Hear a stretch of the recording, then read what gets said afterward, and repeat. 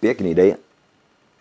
Pěkný den, vítejte na kanálu Libor Balák a budeme si dneska povídat o Ludvíkovi Součkovi, což byl eh, český záhadolog, eh, lékař, zubář, spisovatel, který publikoval, překládal eh, mezi jinými a důležité tam je upozornit na to, že to byla kniha svého času velký bestseller od eh, známého záhadologa švýcarského od Ericha von Denikena a jednalo se o překlad eh, legendární knihy, eh, dnes již velmi památné, vzpomínky na budoucnost.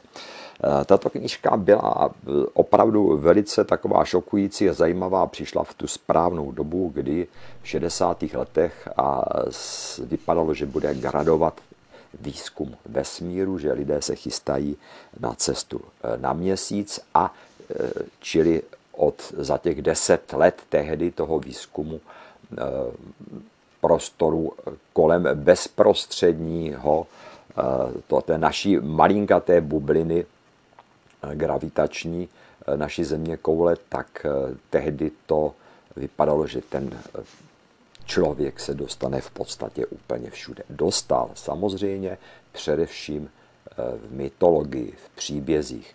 A tady máme nejrůznější příběhy, eh, jako je tehdy byl v 60. letech Star Trek, později další jiné seriály, zase jednak pokračování Star Treku a eh, máme potom takové ty slavné seriály, jako byl Babylon 5 nebo Hvězdná brána.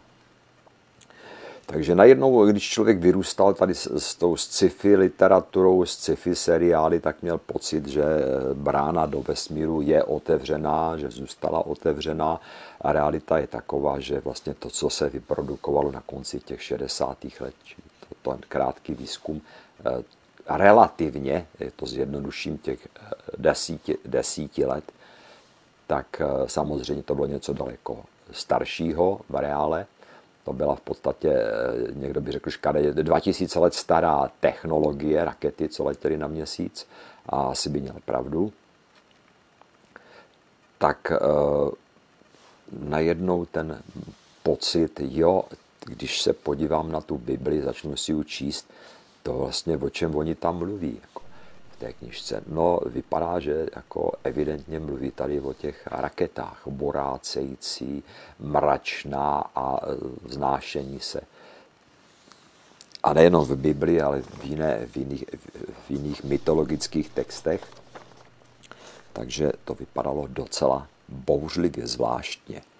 Takže to bylo otevřené e, časově a důležité tady je, že e, ten překladatel u nás eh, té práce, té legendární knižky od Ericha von Denikena, tak eh, vlastně použil jeho způsob uvažování, jeho způsob eh, náhledu na situaci a tam se jedná, že by toho měl být schopen v podstatě každý inteligentní člověk, který je aspoň obe, schopen zobecňovat, hledat principy, takže pochopil, že když nebude eh, příliš pátrat po samotných rozporech, čili řekne, vědci eh, nám předložili, vědci nám řekli, a nebude se dívat na tu vědu jako na prostor, kde je řada eh, možností, různých závěrů, různých dat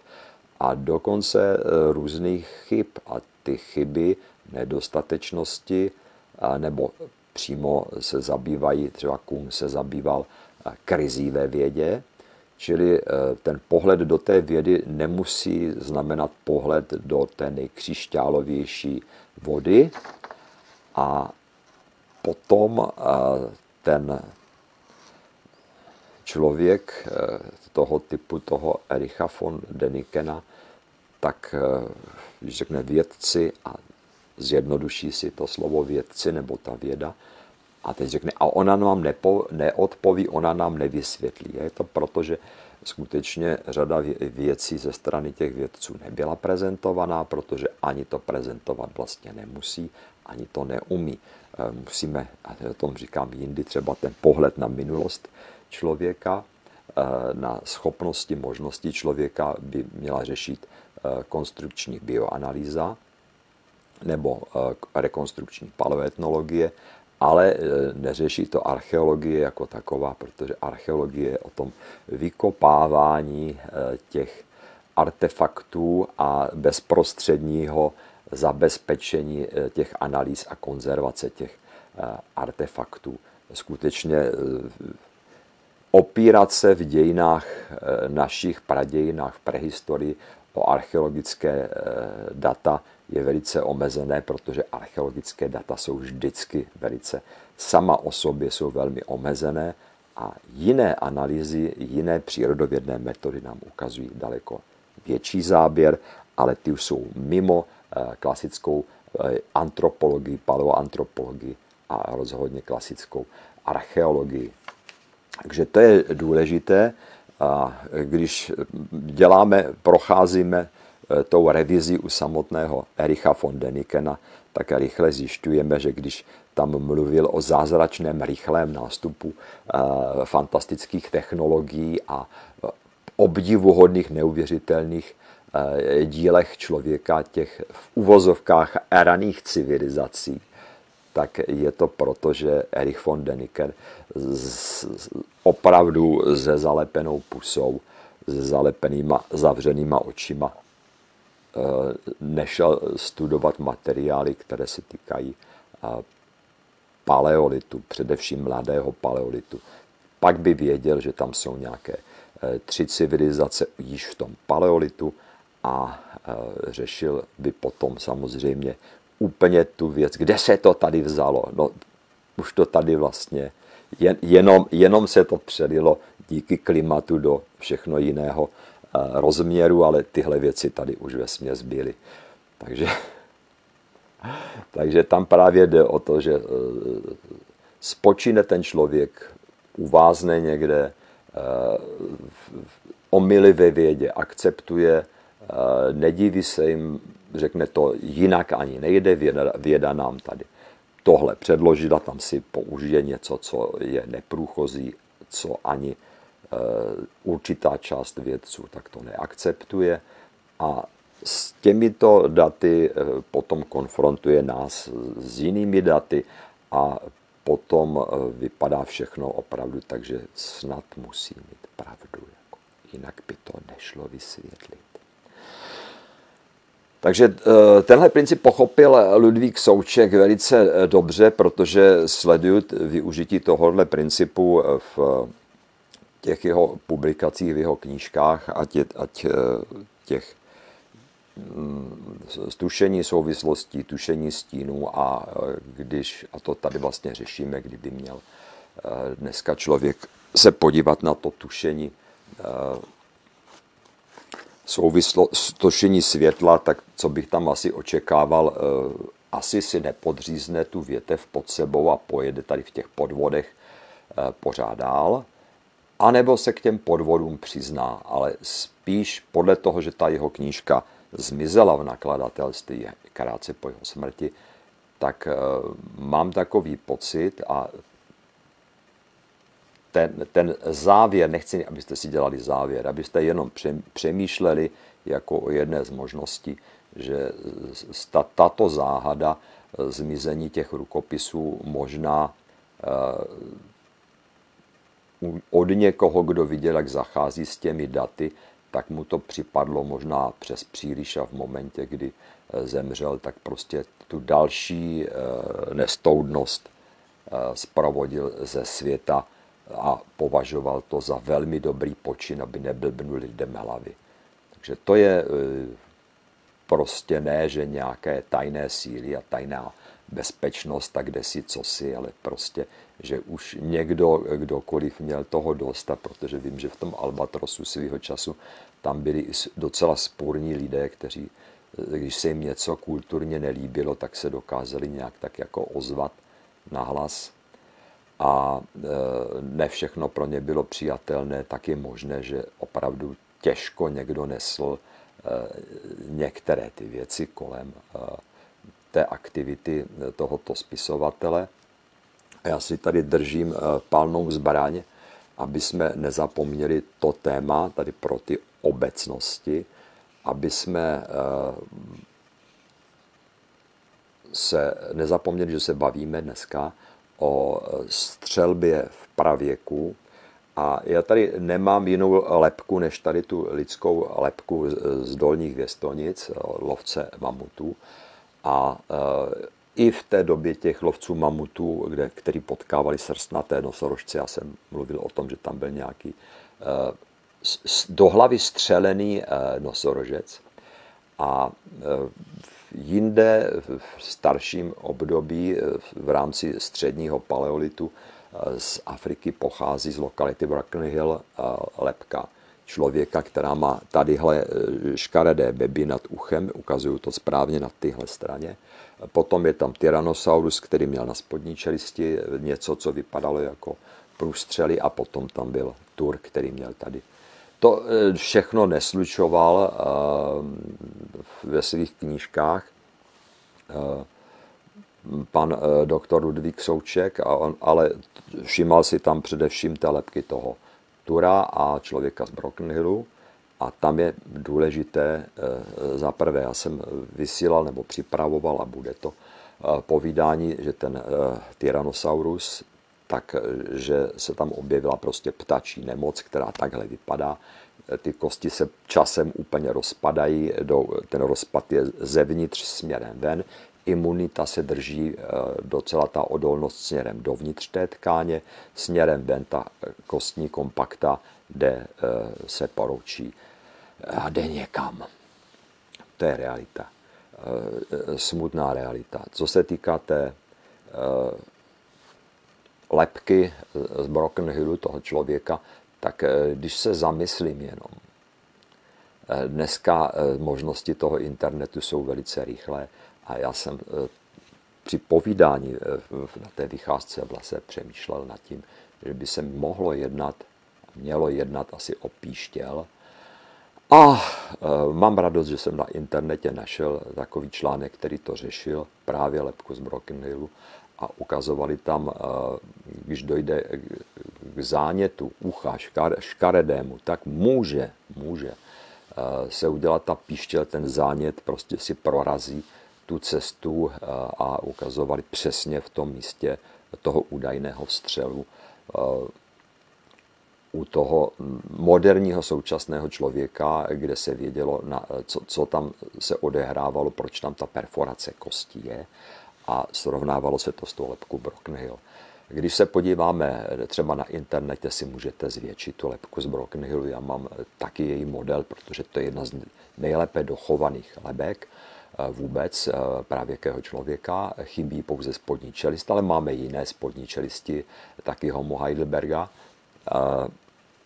Takže žádná tragédie se nekoná a tam není jenom o tu dírku tady. Tady tam na, té, na tom originále, když se podíváte na ty fotky, tak ty dírky běží tady na horní čelisti nad zubama, ve spojitosti se zubama právě, tak tam by mě najednou zajímalo e, ta, zase ten rengen podrobný a ta histologie a tak dál, protože je možný, že celkově ten člověk se mu rozjel někde nějaký zánět se zubem, dostalo se mu to dál do ucha, ono to tam nějak souvisí s tím a tady se mu dělali ty píštěle, že se mu to otvíralo prostě ty e, záněty ven, čili to je stomatologická záležitost.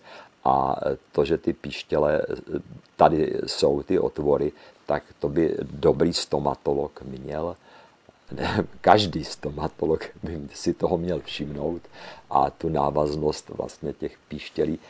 Prostě je to lehký jak jedna a jedna jo, pro toho stomatologa.